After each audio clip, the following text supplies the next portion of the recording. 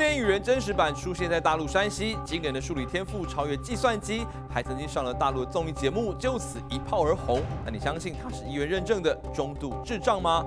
台南有一口四百年历史的古井，终年不干枯，还是台南当地村民重要的饮水来源。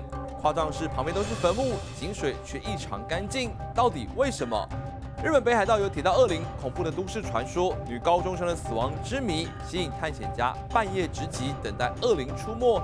神秘五十剧已经调整时段为周六晚间十一点播出，更多精彩内容千万别错过。